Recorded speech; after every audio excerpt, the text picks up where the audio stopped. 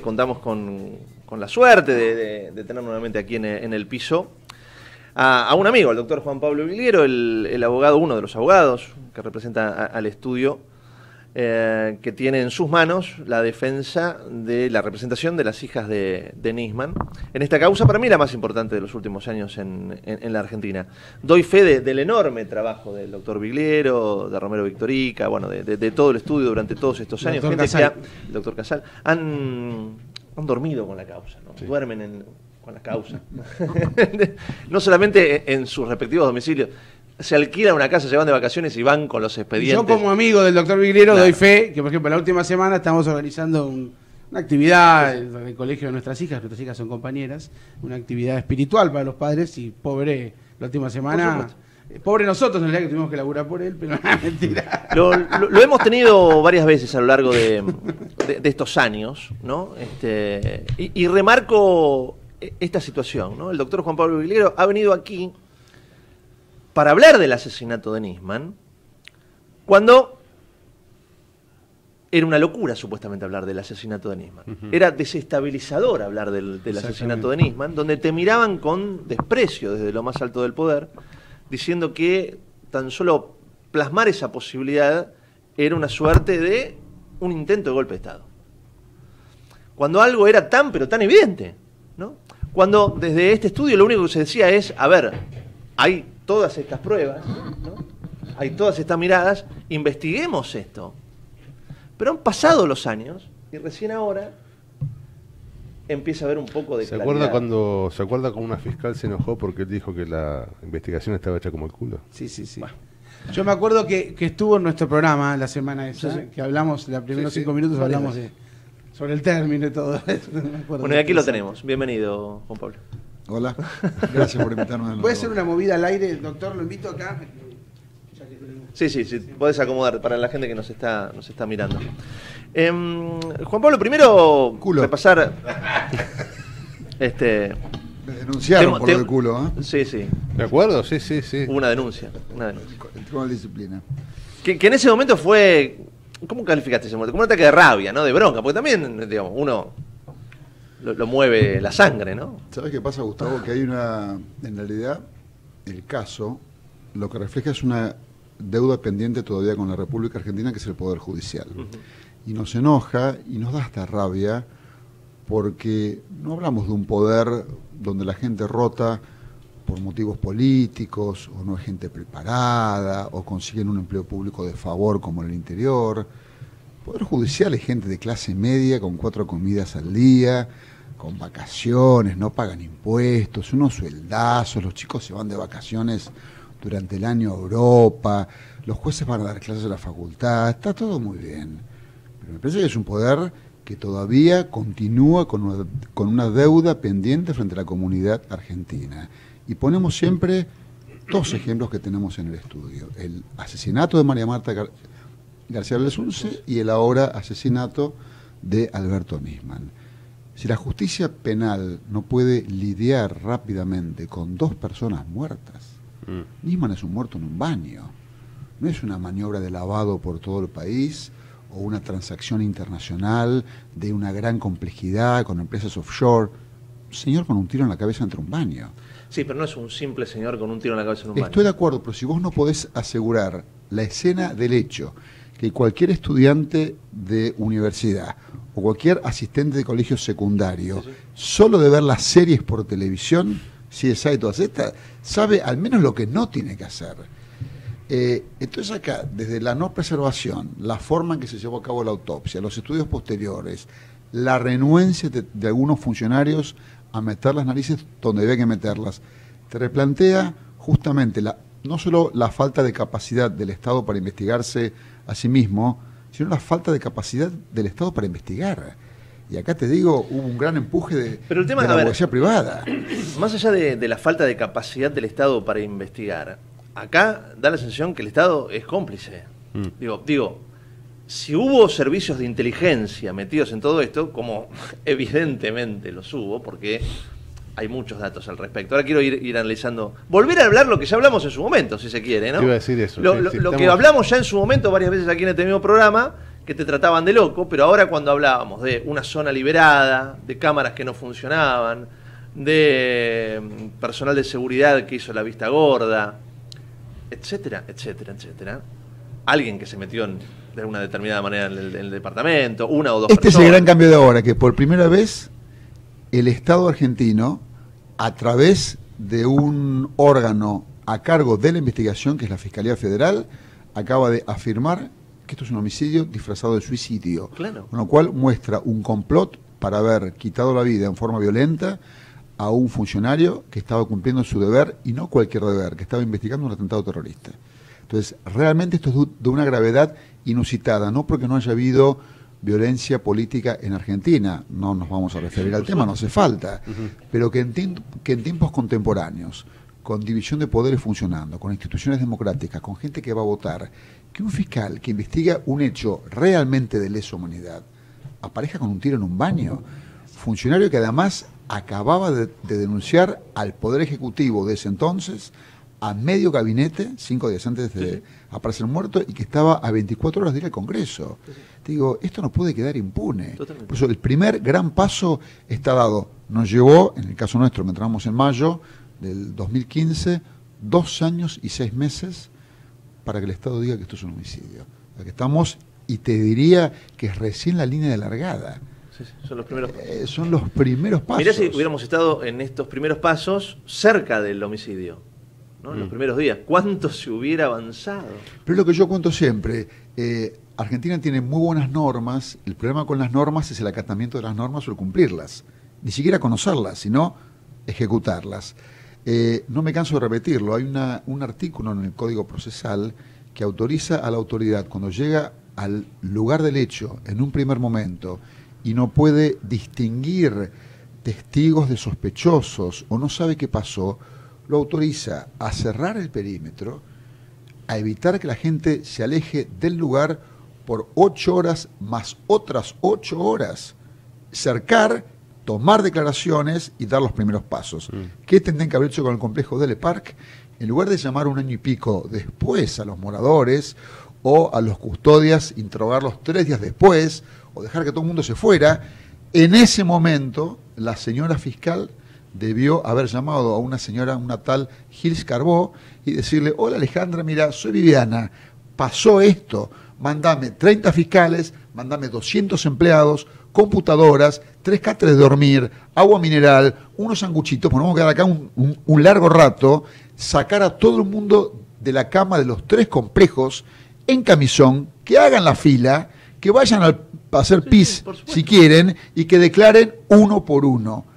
Traer los peritos, que trabajaran en forma ordenada. ¿Hubiera sido mejor?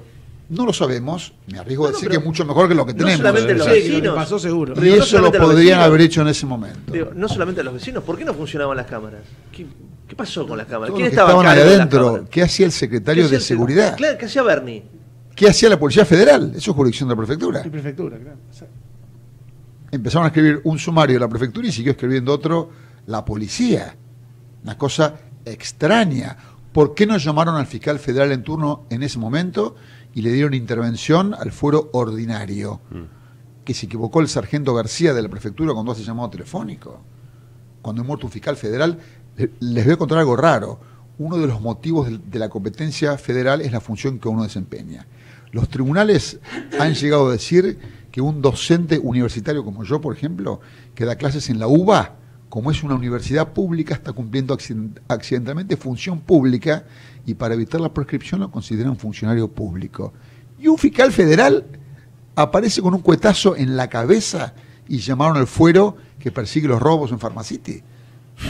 Es, es- es como raro, es como raro. Alguien me va a decir, es fácil con el diario del lunes. No, señor. No es, no, no. La fuerza de seguridad y la gente del Poder Judicial debería ser gente altamente entrenada.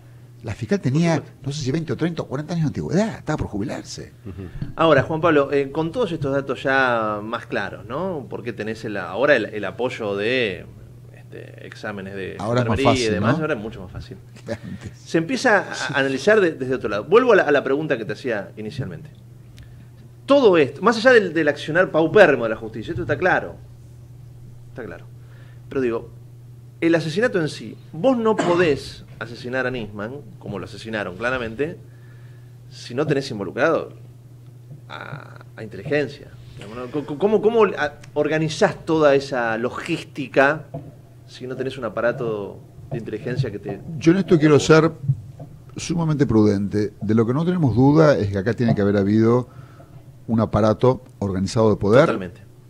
público o Claro. privado, local o extranjero, o todos a la vez, total o parcialmente, que tienen que haber dado un apoyo logístico. Esto no, no es una gavilla de cuatro tarados que, que dijo, uy, vamos a entrar. Estamos hablando, como bien lo remarcaste vos, Gustavo, de una vivienda privada con un complejo sofisticado como es Le Parc, ponele, con vigilancia privada, con cámaras privadas, con las cámaras públicas de la prefectura, la custodia del propio fiscal. Yo no sé si el presidente de la Nación tiene, Tiene tanta gente exacto. alrededor como tenía eh, el fiscal Alberto Nisman. Cámaras de otros edificios, también de seguridad. y además en una zona como Puerto Madero. Y a pesar de todo esto, Alguien entró, alguien subió, hasta él no tenés custodias que tardaron 10 horas, 10 40 horas. minutos en entrar a casa. Pero digo, alguien entró. Eh, primera otra de las preguntas que te quiero hacer para, para arrancar todo esto. ¿Una persona o dos lo mataron para vos? Para mí no está claro. No está El- claro, por la, Junta Interdisciplinaria habla de dos personas porque dice, al haber encontrado la ketamina, se lo coloca a Nisman en, en un estado de sumisión química, lo que obligó a que uno lo sostuviera, Claro. porque él no podía valerse por sí mismo, y otro eh, le pegara el disparo. Sí. Puede ser. Puede ser. De lo que yo no tengo ninguna duda es que las manos de Alberto Nisman no accionaron el arma que terminó con su vida, porque esto está probado pericialmente.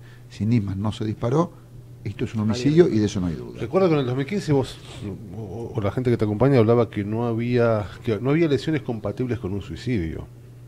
Bueno, eh, en su momento. a ver, eh, por ejemplo, la forma en la que el cuerpo cae. Alberto es un señor un metro ochenta, el baño era chico y les doy un dato de color. El felpudo o el, el- Sí. el- el pisito donde estaba parado no está arrugado cuando él cae. O sea, Claro. Es medio, Mm. por dar un detalle estúpido, o la falta No, de no, golpe no en la cabeza cuando cae para Cuando cae para atrás. atrás. Comprobamos que el cuerpo se corrió del lugar.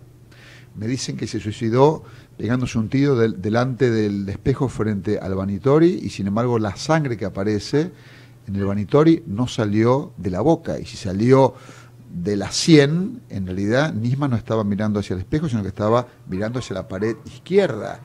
Y por eh, la medida del goteo se pudo, del goteo de sangre, establecieron los expertos que la distancia era muy menor, con lo cual estaba agachado o arrodillado, más las lesiones que presentaba en el cuerpo. Digo, eh, es No, como, esto- son como muchas cosas. Y, y remarco esto una y otra vez. Todo esto que estás contando ahora lo contaste hace un montón de años Sí, acá, sí, sí. en este programa. Sí. Digo, esto mismo, no es que ahora tenés datos nuevos. Esto que estás contando ya lo tenías. Y, y otros datos llamativos como el, el golpe interno en una de las piernas, el- el- la, la- la clásica, eh, cuando vos agarrás a alguien, alguien con, con experiencia, en este, lo pone contra la pared, le pega una patada en la pierna para que... y para, Para cacharlo, para sí, ca- sí, claro, sí, para cacharlo, para reducirlo. Exactamente. E- ese golpe existe, claramente es una patada interna. Digo, todo esto lo tenías hace un montón de tiempo. Eh, por eso nos llama la atención, eh, hay, hay un mito dando vuelta, dicen que hay un peritaje anterior que dio una cosa y un peritaje nuevo que dio otra, ¿no? Como que hubiera dudas o es uno contra otro, y eso es falso. El peritaje anterior tiene la firma de 14 expertos y no es concluyente. Dice que no pueden descartar ninguna de las dos hipótesis. Justamente lo que se hizo con la Junta Interdisciplinaria es mucho más que un peritaje, es un estudio superador donde se vo- volvió a leer todo el expediente, hubo pruebas que se reprodujeron, siempre con control de partes, se volvió a pedir la opinión de los expertos que ya habían intervenido, se recreó con ayuda de soporte informático y nuevas y mejores tecnologías lo que había sucedido y se llegó a esta conclusión. Es concluyente, ¿eh? Ver, Todos estos datos son absolutamente Pues concluyentes. podemos discutir cuánta ketamina eso, tenía. exacto. ¿Qué tienes un buen ejemplo? ¿Por qué le encontraron la ketamina ahora y antes Claro, no? Claro. Alguien va a decir, bueno, pasaron ¿Cómo con un gotero ahora y tiraron ketamina. Bueno, eso es de brutos, porque en realidad la ketamina ya estaba metabolizada, ya ¿Cómo formaba le parte del metamina? organismo. Claro, ¿cómo se la dan? Vos sabés que no podemos establecer, yo no, digo, pero los expertos no han podido establecer, justamente se fue eh, por vía inyectable o si fue por vía Oral. oral. Oral. Y se planteó la posibilidad de exhumar el café, cuerpo. digamos, te la pueden poner. En cualquier. Exactamente. Sí, sí, sí, sí. Pero lo relevante es que antes no aparece. Y de vuelta, antes no aparece porque no buscaron.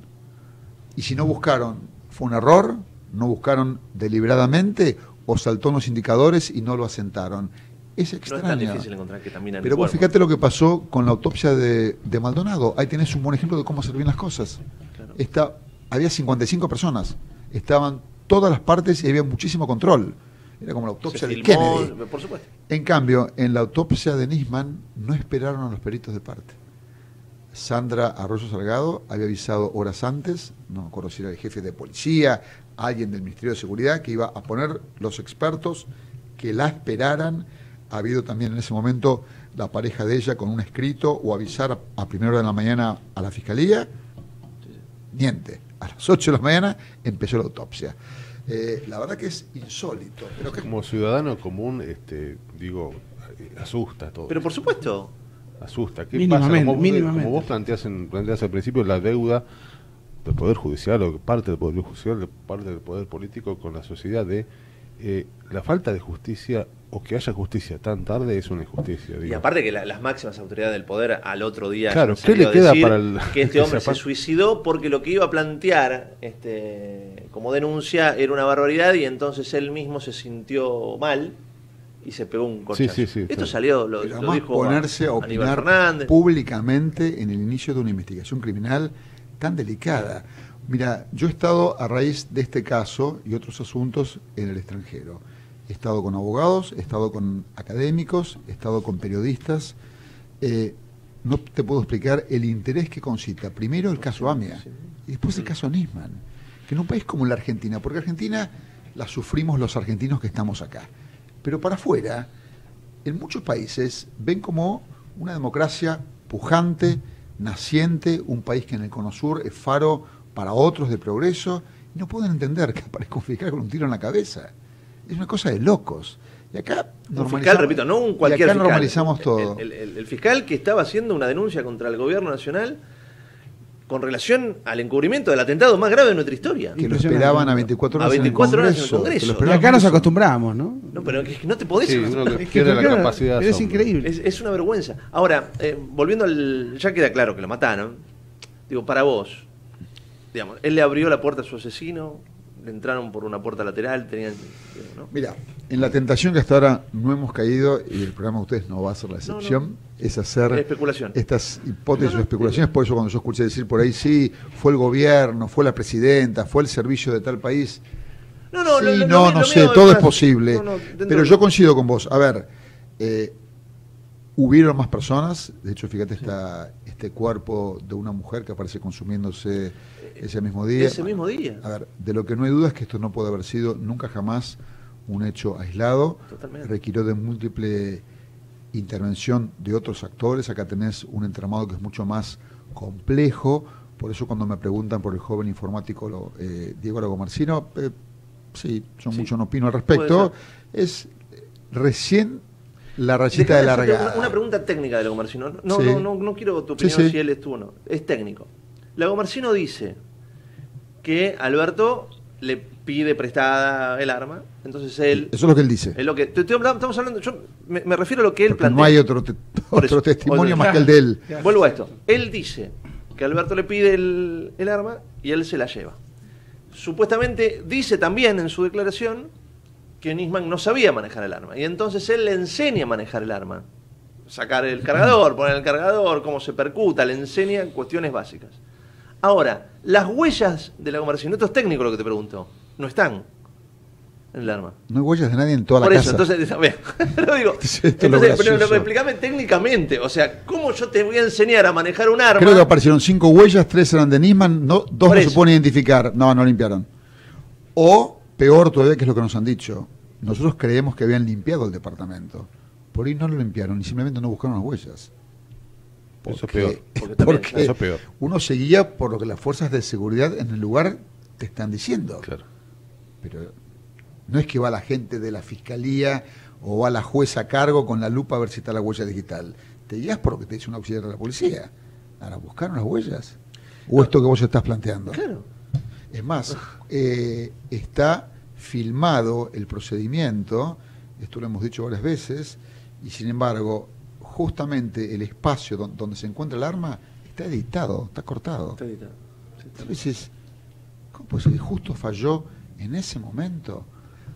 Y acá, como hemos dicho tantas veces Gustavo, Rodrigo y Raulo, es difícil establecer qué pasó porque se te entrelaza la Argentina atada con alambre y la Argentina conspirativa. Y nunca sabes si lo, si lo que pasó es de berretas o es de vivos. Si había un gran complot o simplemente no saben hacer su trabajo. Y esto es un problema uno no sabe si hubo una obstrucción a la justicia para que no avance una investigación o un encubrimiento que supone saber que ha habido antes un delito, Pero, eh, Juan un Pablo, a ver, homicidio. si vos planificás la querés tapar. logística, eh, como se planificó, Mm. liberando la zona como se liberó, evidentemente en, en esta planificación vos tenés todo planificado. El antes, el durante y el después. Sí, Si no, no te tirás a hacer esto. pero vos sabés que los crímenes perfectos no existen. Por que son malos por investigadores. supuesto, por supuesto, pero digo, por supuesto que siempre quedará algún hueco para meterse y, y encontrar la verdad. Pero digo, en esta planificación, a mí, la verdad, me hace mucho ruido pensar que solamente son inoperantes los miembros de la justicia. Para mí, u otra cosa. Ahora vos fijate, ¿no? Eh, la inoperancia. Lo atacaron a él que no podía defenderse. Después lo atacaron reputacionalmente, Totalmente. sin que se pudiera defender. Hostigaron a las hijas, atacaron a la, a la exmujer, nos hicieron las cosas difíciles a nosotros. Hubo algún sector, y quiero recalcar, minúsculo, pero lo hubo, del Poder Judicial que nos maltrató en las audiencias. Y mira que somos abogados con experiencia, y somos todos tipos grandes. Sentirte maltratado por algunos jueces, eh, a esta altura no es fácil. Recalco, minúsculo. En general no hemos tenido ningún inconveniente y mucho menos con los jueces. Pero la verdad, y, se termina dando la siguiente paradoja. ¿Cuál es el fuero que más está cuestionado? El fuero federal. De hecho, al principio yo estaba contento que la causa estuviera en el fuero común porque es de, de donde venimos la, la mayor parte del- de los miembros del estudio y nos daba como más seguridad. Y sin embargo, esto empezó a funcionar de otra manera en el foro federal y me tengo que sacar el sombrero. El equipo de gente que armó el fiscal, que es Eduardo, eh, Eduardo Tayano, ha tenido una labor de bajísimo perfil, eficiente, eficaz, y la verdad que es... eh, Ese eh, cuerpo es el que terminó por definir que... ¿Cómo? Ese cuerpo de, de Lucas eh, Lucas Dayano, tengo un amigo que se llama Lucas Dayano, por eso. Eduardo Dayano eh, terminó por definir que Lagomarcino mínimamente fue partícipe necesario. Hasta ahora sí, un partícipe necesario técnicamente es alguien que hace Eso algún iba, que- aporte Sí, sí. Sin el cual vos no podés llevar a cabo el delito. No es cualquier aporte. Si van tres ladrones Es indispensable a robar un aporte. banco y uno se queda esperando, Sí, sí, Es parte de tiene la un rol. Si otro hace de campana, tiene otro rol. Entiendo. Si tenés el experto que abre la caja de seguridad para que el otro se meta, tienen diferentes roles. Algunos son prescindentes, otros son imprescindibles. Cuando es prescindible, sos un cómplice o un partícipe primario. Hasta a nivel informático, hay, hay datos que son para investigar profundamente porque limpiaron la computadora de niño. Mm. La computadora, el teléfono, El teléfono. Departamento. Eso no lo hace alguien que no Borraron sabe los, también, datos, ¿no? los datos de navegación. Es muy... Eh, eh, qué curioso. Eso no lo hace un técnico informático. Uy, perdón. Se me escapó. aparece en la computadora de Alberto Nisman, aparece navegando a las 7 de la mañana. Entonces decían que estaba vivo a las 7 de la mañana. Bueno, ahora los estudios médicos están fijando la hora de la muerte de él cerca de las 2.45 am, 3 menos cuarto de la madrugada. Entonces, ¿quién estaba accionando la hora? Claro. O alguien que estaba dentro, o a control remoto, es decir, a distancia, para hacer aparecer que Alberto estaba vivo, Que hay muchos programas las para, noticias. muchos Ujú. programas para eso. Sí, claro, sí, puedes trabajar Y vos remotamente. tu computadora a distancia, yo por ejemplo tengo un técnico informático amigo que yo le he dado algunos códigos y demás. Big no, no- no la maneja cualquiera. Vos tenés, tiene que estar en tu computadora, tiene que conocer ciertos códigos para manejarla a distancia. ponerse de acuerdo para que esté encendida, Exacto. toda una serie de cosas. ¿no? Digo, no es tan sencillo. Sí, tiene que haber dos, alguien a distancia y alguien en el departamento. Pero de vuelta, eh, el caso lo que te desnuda realmente es una tragedia, pero por lo menos esta semana nos, nos pasó algo gratificante dentro de tanta tristeza. No voy a decir mierda porque después dicen que digo malas palabras. Fue una semana muy difícil, pero es llevar la satisfacción a las hijas de Alberto Nisman que su padre no era un loquito que se pegó un tiro. Totalmente. Su papá es un señor al que mataron cumpliendo su deber. Y esto es una gran tranquilidad para Yara y Kala Nisman. Sin Y duda. también para Sandra. ¿Qué edad tienen las chicas? Tiene, eh, Yara cumplió 18 y Kala, no sé, tiene 10 u 11, muy chiquitas. Pobrecita. Pero Yara ha estado muy involucrada, ha venido al estudio, ha participado en alguna reunión, ha hecho preguntas, ha contenido a su madre, ha aconsejado sabiamente a su madre, con la frescura y con la espontaneidad propia que uno tiene a esa edad. La verdad que es una ¿Ellas digna hija de su por padre. vez con, con Nisman eh, ese mismo día? No. Hay una...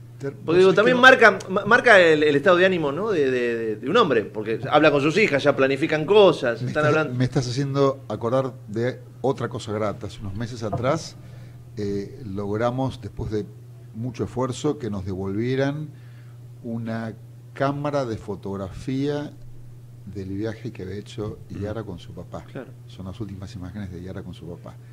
Eh, mira vos, me estoy acordando ahora, esto no lo contamos a nadie. Y le hicimos venir a Yara al estudio sin decirle para qué era.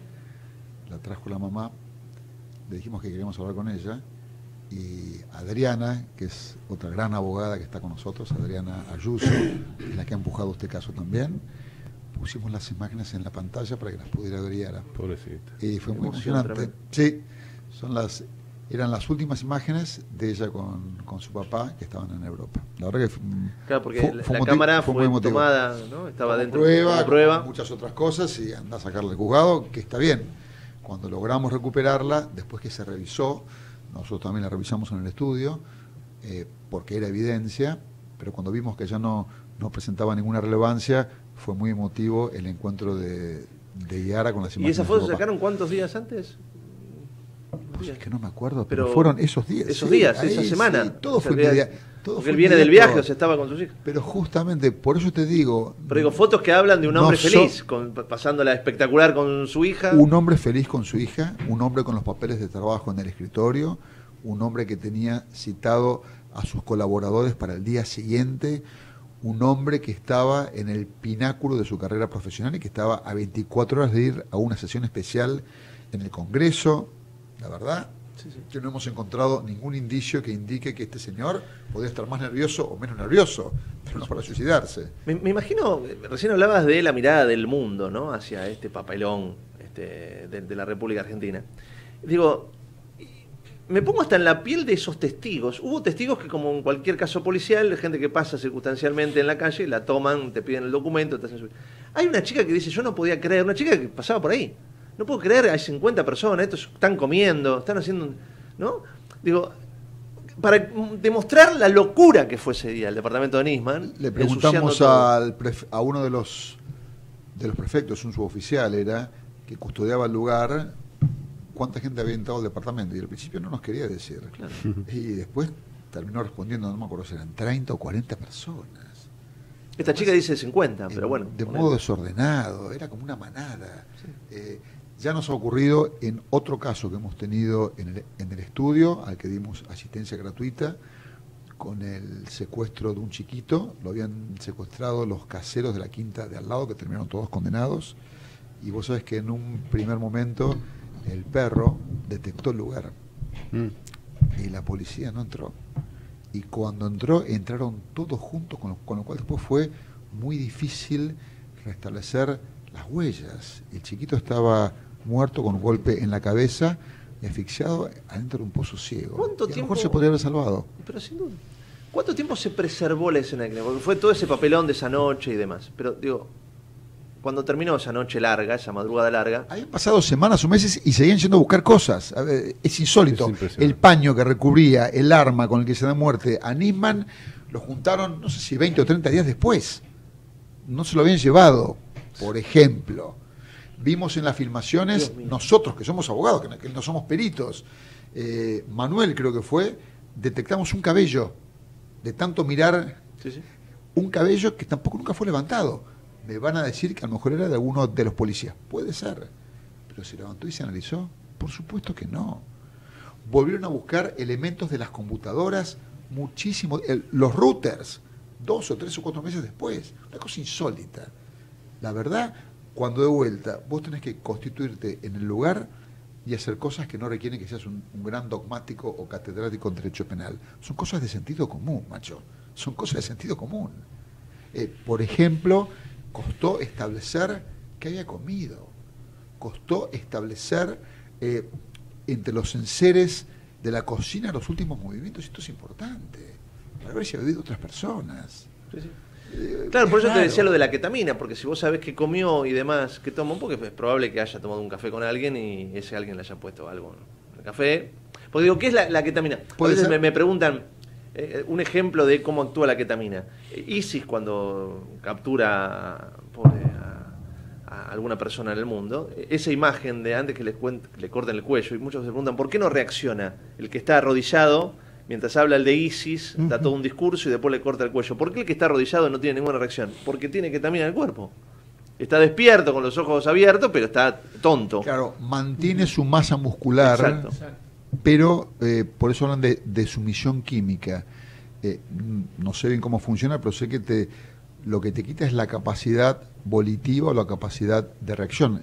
Es la droga que han utilizado en una serie de episodios extraños que hubo en un boliche de la costanera hace un tiempo atrás, donde se habían querido llevar a algunas chicas de un colegio privado, eh, justamente donde salen caminando como acompañadas, como si, como si hubieran tomado un trago de más. Y el DJ, de ese lugar está comprometido con eso porque encontraron ketamina en el bolso. y- Ah, mira vos, Hace ese, dato no lo tenía, no.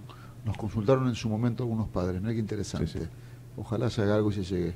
El bien, que estaba comprometido, lo escuché hace unos 4 o 5 días en radio. Ah, mirá. Pero, digamos, es, es absolutamente clave en esta historia. Porque, Alberto, con ketamina, claro, lo moves para donde querés, lo llevas para donde Claro. querés, lo acomodás como querés. Pero además, lo, eh, otra vez, si él hubiera estado solo en una quinta en el medio del campo, pero estaba en un lugar que era altamente concurrido y con custodia policial. Eh, conté varias veces una anécdota, un periodista muy conocido de La Nación me confió que recibió una vez a Alberto, ahí en el café, en el Plaza, eh, y el custodia preguntó cuánto iba a durar la reunión y le dijeron 15 o 20 minutos. Contaba este periodista que a los 15 minutos entró el custodia a ver si Alberto estaba bien. O sea, había control. Totalmente.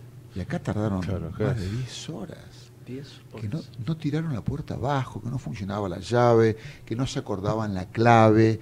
eh, Ahora- que Alberto tenía mal carácter, entonces no querían importunarlo, que no se animaban a ¿Qué, qué sigue, ¿Qué sigue esto? Ahora los van a llamar a declarar. A esto. Sí, Claro, a, a eso voy. ¿Qué sigue la después? causa está ahora, en- el juez implantó el secreto del sumario, están convocados a prestar declaración indagatoria, esto es, para una indagatoria el juez se forma la convicción, se forma la sospecha de que puede haber habido un delito y que tendrían algún tipo de participación en este delito y los va a interrogar al respecto a Lago Marcino y a los custodias y después tiene que resolver.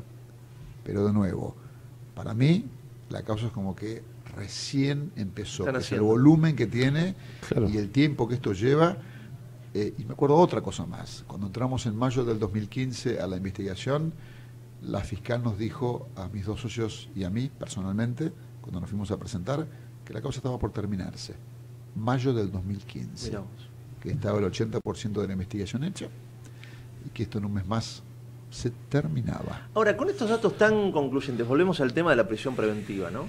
Uh, hay una inflación de prisión preventiva en Argentina. Por eso, hay una inflación, absolutamente. Yo creo, más allá de que considero que hay elementos suficientes, para, por ejemplo, para meter a Vudú preso, este, la prisión preventiva me parece que Ahí vamos a técnicamente... entrar en una no. discusión. Pero bueno, más allá de eso, más allá, más allá de esa pero ponele, convengamos que hay elementos... Bueno, ponele. Para mí técnicamente me parece que quizás fue un poco apresurada. Pero más allá de eso, en este caso, donde tenés tantos... O lenta. ¿Cómo? O lenta. lenta. Está bien, pero digo, en este caso, donde vos ahora ya tenés estudios concluyentes y demás, yo juez lo primero que hago, presión preventiva, toda la custodia, los meto con cana y después lo empiezo a citar.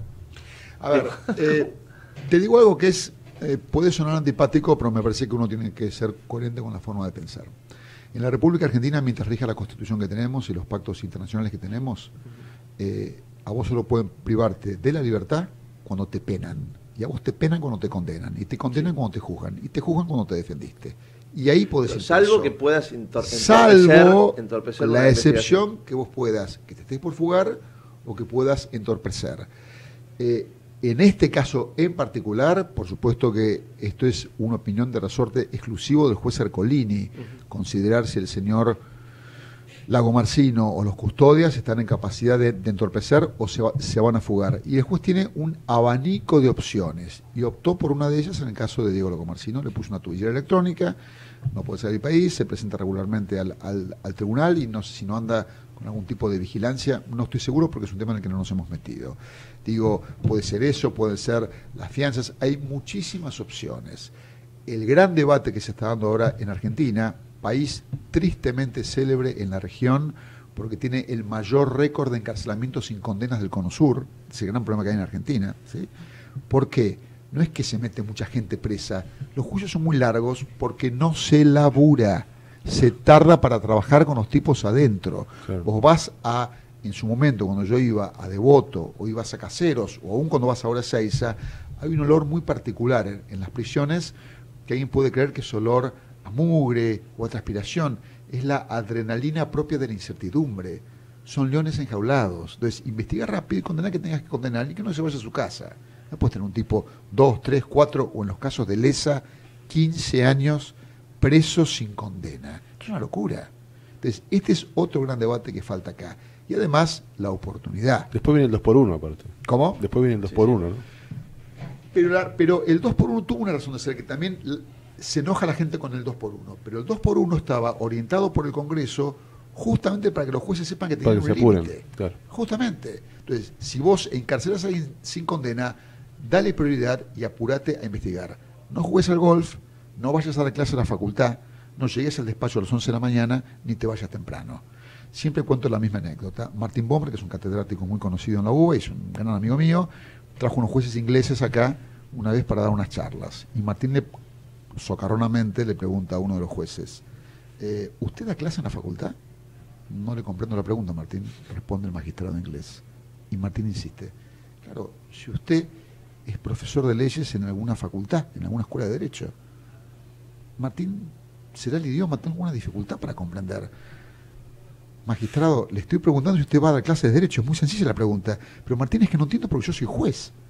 ¿Cómo usted puede creer que yo voy a ser juez y voy a dar clases de derecho en la facultad? No voy a dar clases de derecho en la facultad, primero porque no tengo tiempo, porque trabajamos mucho. Y segundo, no voy a adelantar mis opiniones ante extraños. Mis opiniones son a través de las sentencias. Entonces, de vuelta, muy lindas las prisiones preventivas, mi estimado Gustavo, pero vos tenés que trabajar también con mayor rapidez las causas, para lo cual hace falta organismos más eficaces. Entonces, ahora cuando viene toda esta ola de encarcelamientos preventivos, lo miro con algún resquemor, no por el momento político o porque sean culpables o inocentes, estoy mirando más allá. Y la discusión que hay es el cumplimiento de la ley y el respeto a la Constitución en Argentina. Y ahí es donde yo me enojo a veces con una parte, como dice Raúl con toda prudencia, con una parte grande del poder judicial. Quizás es lo que tenés que hacer, pero además hacerlo en tiempo y forma. Porque si no, aparecen estas ONGs nuevas de víctimas, que yo las respeto, pero vienen con un discurso muy duro, vienen con un discurso muy de mano dura. Entonces, en Argentina, hasta que vos no reformás la Constitución, la pena no es para castigar, No, pero yo es para pensando, resocializar, si ¿por no cambia la ley. esta pregunta? Porque digo, Es- eh, es un debate muy difícil. ¿eh? Pero Sí, digo, muy para difícil, llegar a la verdad, para llegar a la verdad también no tenés que dar mucha capacidad de reacción a aquellos que quieren ocultarla. Digo, entonces, ah, me pongo en la piel de los custodios. Si los custodios, como todos sabemos, fueron parte de, de- de esta maniobra de encubrimiento, vos rápidamente lo tenés que, que- que citar, sobre todo ahora. No, En no darle el tiempo- momento En el momento, por supuesto, hecho. pero ponele que en el momento no se hizo. Ahora, no des tiempo a aquellos que encubrieron para que vuelvan a hablar con los custodios, para que les llenen la cabeza, para que les armen un discurso. Pero vos crees que después casi tres años todo eso no puede haber sucedido. Sí, seguro. Pero digo, ahora se pudo haber reforzado. Entonces, si vos los agarras ahora, quizás podés sacar un poquito más. Sí, a mí, yo de ahí, verdad. De vuelta no con, no- no de vuelta con, lo que pueda con- llegar a- con la línea antipática, me hace acordar los procedimientos inquisitivos de la Edad Media, ¿no? que había que encarcelarlo para poder avanzar con éxito. Y yo ahí, vos tenés que tener capacidad para poder investigar, más allá que lo tengas preso o no, salvo que realmente demuestres que esto puede poner en peligro la investigación, y ahí sí yo te doy la derecha y lo tenés que, que- eh, encarcelar con prisión preventiva, pero justamente es prisión preventiva, es una medida de cautela, una medida de aseguramiento previo para que no se te diluya, por ejemplo, la prueba o no se las tome, pero eso lo tenés que demostrar, porque si no, te voy a poner otro ejemplo, que fue lo que quisieron hacer con los gobiernos pasados, porque todo muy lindo con estos casos de, de corrupción. La evasión tributaria, que es un deporte nacional en la República Argentina, cuando vos superás ciertos montos, el mínimo no te permite que vos cumplas una condena en suspenso, o sea, vas preso de verdad. Siguiendo el criterio que estamos todos exponiendo acá, si empezaban a investigar, por ejemplo, empresarios u hombres con domicilios, con trabajos que no se iban a fugar, los metían en cana con el inicio de las investigaciones. Yo no sé si esto está bueno. Cuando vos empezás a utilizar el encarcelamiento como un arma de di- disuasión, eh, es, es un tema muy difícil. ¿eh? Sí, sí. Em, ya sabemos algo muy importante que lo mataron. Ya, es- esto no, es un paso gigantesco en la causa. Enorme. Enorme. Obvio, pero enorme. Obvio, lo supimos toda la vida, pero toda la vida de la causa, ¿no? Ahora, realmente, ¿qué posibilidades concretas crees vos que hay para llegar a la verdad en cuanto a quién fue? Me lo preguntaron la primera vez que yo vine acá y les dije que yo, te- yo tenía esperanza porque creía en la condición humana. Y me parece que tengo que mirarlo con optimismo, porque si yo no tuviera optimismo en general y confianza en la justicia en particular, pese a las críticas, porque la critico porque la quiero y la quiero porque además es necesaria, ¿sí? Eh, si yo no creyera en la posibilidad de que el Poder Judicial llegue a algún lado, eh, tenemos que cerrar la función pública y recurrir a, a las vías de hecho o las investigaciones privadas. Entonces yo realmente, de vuelta, no creo en los crímenes perfectos, creo que lo que hay son malos investigadores o investigadores berretas. Eh, y vos nunca sabés en qué momento te vas a topar con una buena prueba. Y además, te voy a adelantar, Gustavo, que hay varias líneas de investigación abiertas, lo que pasa es que no se hacen públicas ni las comentamos nosotros Hay. en los medios. Sí, Hay. por supuesto que hay. Por eso te digo, esto que se ve es una frase muy remanía, ¿no? La puntita del iceberg. Es eso, es realmente la punta del iceberg. Por eso yo te decía, es una línea de largada. Estamos todavía muy lejos. Por eso Hay recién mucho trabajo empieza. por delante. Hasta internacional, eh, línea de investigación. Por suerte, por suerte tenemos también cámaras. Periodista pícaro, muy bien. Interrogue, interrogue, muy bien. No, bueno. No, no, digo, qué sé yo. Simple deducción. No, Viste no. que antipático. No voy a hacer Insistile, comentarios. insistile, no voy a hacer insistile. comentarios. No, no, es simple, simple, simple. Juan Pablo, deducción. recién, perdóname, recién este, rozamos el tema vudú y, y demás. Me gustaría particularmente tu opinión respecto de esta suerte, si se quiere, para algunos, de escarnio de ver al ex vicepresidente descalzo y, y semi medio dormido mientras le leían sus derechos. Como hombre de la justicia, digo, ¿hay opinión? Tengo opinión formada, sí. No soy amigo vudú, no voté vudú, no me gusta vudú y tienen que ir preso, que lo condenen mucho, mucho. ¿Está bien? Sí. Si le comprueban todo lo que él eh, dicen que hizo. Pero de vuelta, la ley, en el Código de Procedimientos, que es la ley que rige la actuación de jueces y fiscales, una ley del Congreso, que es lo que es, es como el manual que deben seguir, dice expresamente, expresamente que vos tenés que evitar las vejaciones o el trato humillante o degradante cuando vas a, a detener a alguien. Y esto me pareció gratuito. ¿Lo quieren meter en Canabudú? Métanlo en Canabudú. Ahora que vos tengas que filmar y viralices, me parece de una bajeza absoluta. Una vergüenza. Me parece vergonzoso porque no hace falta. No hay ninguna necesidad. Ahora, haces eh, lo que tengas que hacer hacer. un favor con esto, porque podés llegar ¿Cómo? a anular lo actuado. digamos, Ah, o no, o no, no, se no, llega no, tanto. no, no, no, no, no. Esto no llega tanto, tampoco creo que lo vayan a victimizar, porque no Sí, es un no. señor que, go- que goce de buena prensa, pero, pero, la, pero la verdad que, que en esto quiero ser enfático. No había ningún motivo. Eh, conozco la anécdota de fuente directa cuando hubo muchísima presión sobre uno de los juzgados federales que lo tenía, cuando debido se entrega para la foto, el chaleco y el casco. Sí. Lo llamaron para presionarlo al juez, el juez no le llevó el apunte, hizo todo lo posible para que el hombre estuviera lo mejor que estaba, ya estaba preso. ¿Qué necesidad de exhibirlo como un trofeo? Digo, y esto no es por defender a Julio Devido, me importa un cuerno la suerte de Julio Devido. Te digo, me parece que es como innecesario. Y además, mi estimado Raulo, lo que este gobierno no tiene que olvidar, este gobierno, es que la vida es una calecita. Entonces, toda una vida vuelve. Entonces, ojo también con estas posiciones extremas que uno toma, sobre todo con parte de una justicia que, viste, como viene el viento, es como la veleta gira. Sea que hay que ser cuidadosos también. Ahí en las, en las redes sociales hubo algunas discusiones este, sobre este tema. Yo lo que sí, no, por supuesto, pienso exactamente lo mismo que, que- que la mesa con respecto a esta exposición y a este escarnio que le hicieron. Y, Sí, claro. y repito lo mismo que dijo Juan Pablo, que no defiendo a Vudú y todo eso, por supuesto. Este, sí, la discusión estaba en algo que hablamos un poquito antes, que era en el... eh, en- a ver, el Juan Pablo, como, como excelente abogado que es, explicaba y daba todas las razones que es- por supuesto yo no digo que sean reales de por qué había que esperar y no era preventiva, etcétera. Y yo lo que decía y lo que pienso es que a mí me parecía bien que la gente necesita, la gente necesitamos verlo preso después de tanto tiempo, ¿no? Entonces decía, la verdad que eso, pero bueno, obviamente hay una discusión donde yo hay un momento que voy a no voy a tener más argumentos porque no soy abogado como vos. No, pero- yo, no, pero- vos sabés que yo no sé si la gente necesita verlo preso, si no, o tal vez sí. No, no yo la- necesito verlo juzgado. ¿Mm? Sí. Bueno, pero, preso. pero, pero, pero, para, Está bien, pero que ya esté guardado es, Sí, sí. es un Pero paso importante. Déjame decirte algo, Rodrigo. Vos no sos abogado, vos sos comunicador. Y la, y la gente te escucha. Y tenés ascendiente sobre mucha gente. Entonces, yo acá sí quiero ser cuidadoso con, con los términos. Porque si no, entras a acercarte peligrosamente a una suerte de linchamiento mediático, ¿no? No, el linchamiento yo no estoy a favor. Pues no estoy como Yo no- decir que estés a favor del linchamiento. Digo, Eh, cuando uno a- dice. para mí no tendrían que haberlo mostrado, o sea, hay que una sentencia ejemplificadora. Yo te voy a decir, no. Quiero la sentencia que proporcionalmente corresponda a lo que hizo. Pero los jueces no están para, para andar educando a la gente Sí, ni calmar el ansia de la gente. Pero esto es el Poder Ejecutivo, la Secretaría de Comunicación, el Congreso, los comunicadores. Los jueces penales están para otra cosa. Entonces, claro. esta necesidad que, que tiene la gente, yo la entiendo. Pero no sé si, y la comparto además, y la tengo.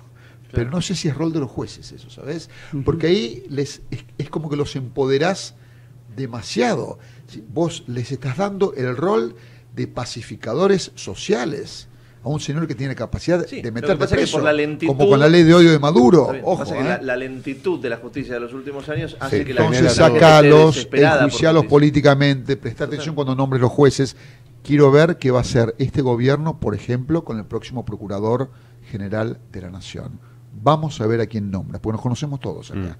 Va a ser un excelente botón para muestra, para calibrar realmente la intención sana o no que tenga este gobierno de Mauricio Macri eh, con relación a la justicia. Vamos a estar todos prestando atención.